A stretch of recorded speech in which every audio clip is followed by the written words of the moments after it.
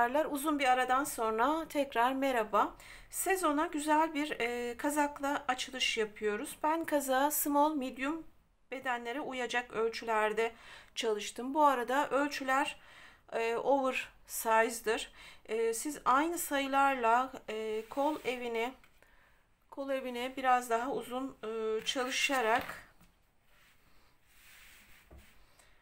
arka e, yaka açıklığını biraz daha fazla e, bırakarak rahatça e, bu sayıları large beden içinde çalışabilirsiniz. Kazak tamamen e, yukarıdan aşağıya dikişsiz olarak çalışıldı.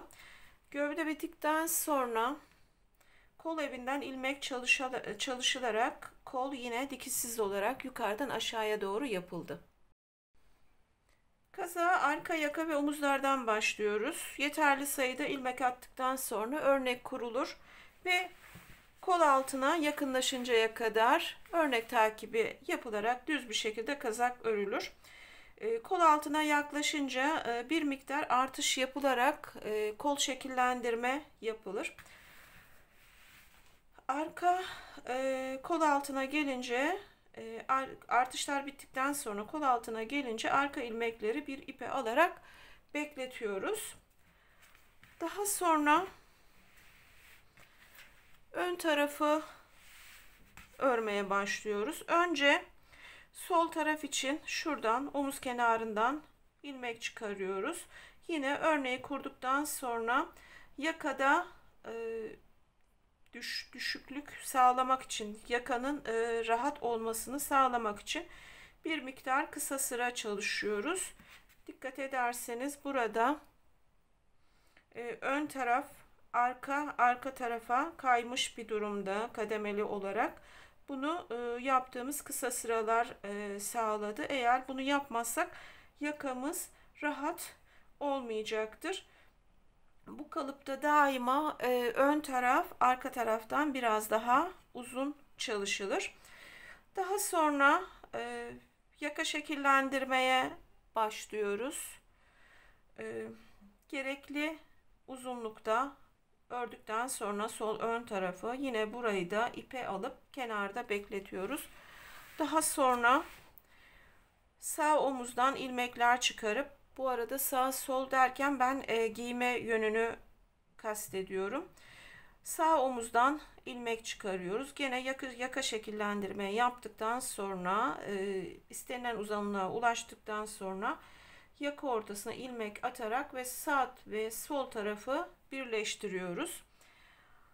Daha sonra yine örnek takibi yaparak örmeye devam ediyoruz. Yine kol altına yaklaşınca e, yine kol şekillendirme için e, belli sayıda artış yapıyoruz. Ön tarafta bittikten sonra kol altına belli sayıda ilmek atarak arkayı ve önü birleştiriyoruz ve yine yuvarlak bir şekilde eteğe kadar örmeye devam ediyoruz. Gövdede 5 numara lastik kullandım. E, etek lastiklerini bu kol lastiği için de geçerli. Etek ve kol lastiğini örerken 4,5 milimetre şişe geçtim. E, daha sonra yakayı çalıştım. Ben e, hem estetik olarak güzel görünmesi için hem de rahat bir yaka olması için çift yaka çalıştım. Gene burada çok güzel bir teknik öğrendim. Bunu e, Petit Knit'in e, YouTube'daki kanalından öğrendim arkadaşlar. Çok kolay ve çok güzel bir teknik. Bunu e, denemenizi tavsiye ederim. Gerçekten zor değil. Daha sonra kol için ilmekleri topladım ve kolu ördüm. Kolda yine ara ara kademeli eksiltmeler yaptım. Ben e, geniş bu kaza örerken geniş bir kol ve geniş bir kol ağzı hedefledim.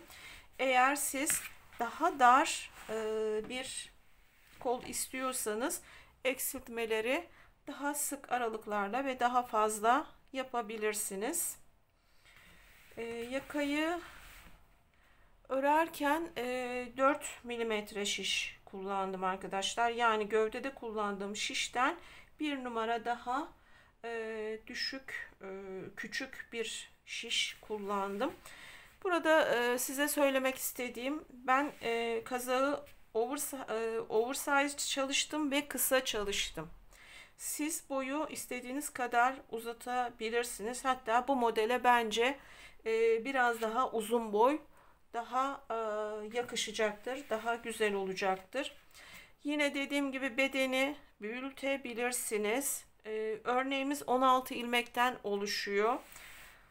6 ilmek e, şu düz sütunlar, 6 ilmek saç örgüleri. Bunların arasında da ikişer tane e, ters ilmek var.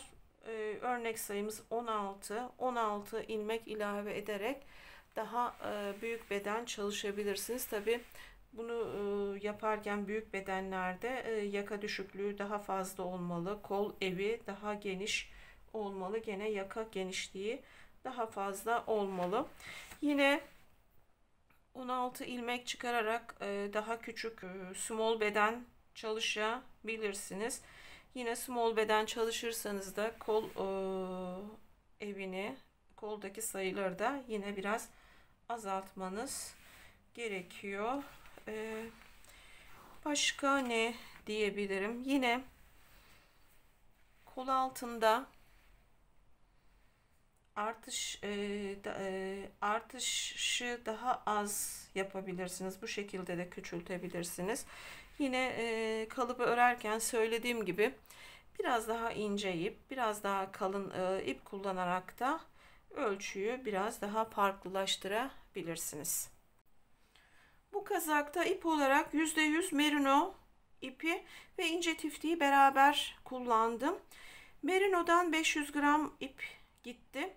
İnce tiftik bobin olduğu için tam miktarını size söyle, söyleyemiyorum ama bu e, boyuttaki bir kazak için 100-125 e, gram tiftik yeterli olacaktır.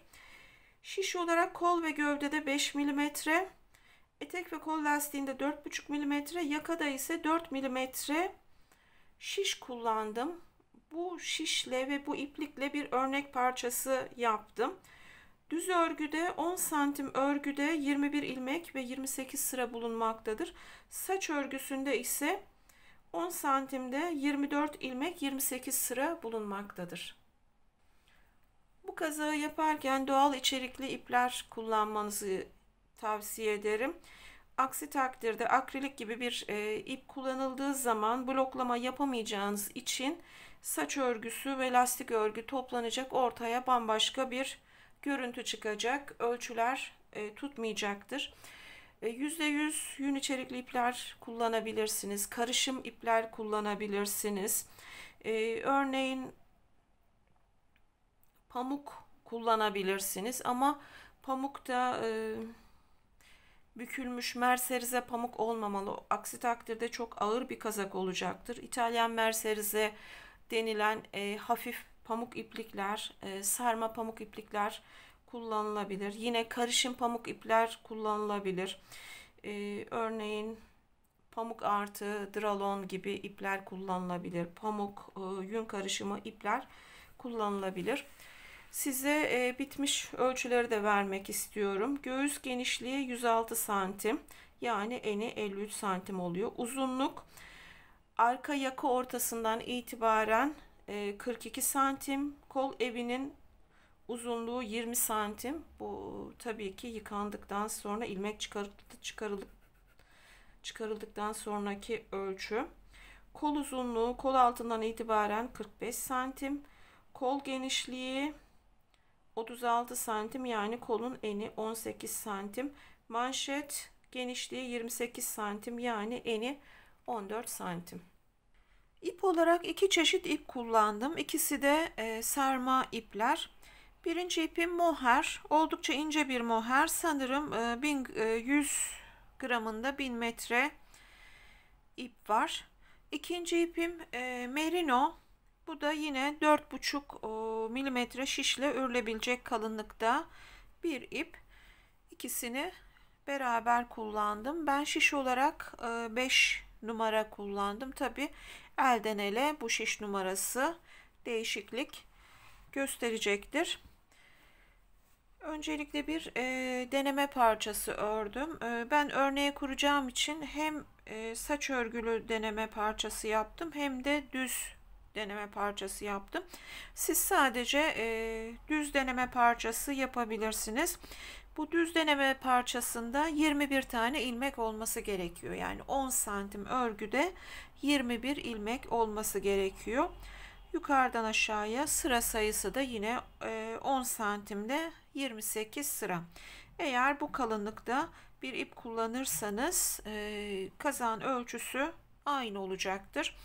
10, 10 santim örgüde örneğin bir eksik ilmeğiniz varsa örneğin 20 ilmekse ya da 22 ilmekse gene bu sayılarla e, kaza örebilirsiniz. Oversize olduğu için kazak azıcık daha küçük e, ya da azıcık daha büyük olacaktır.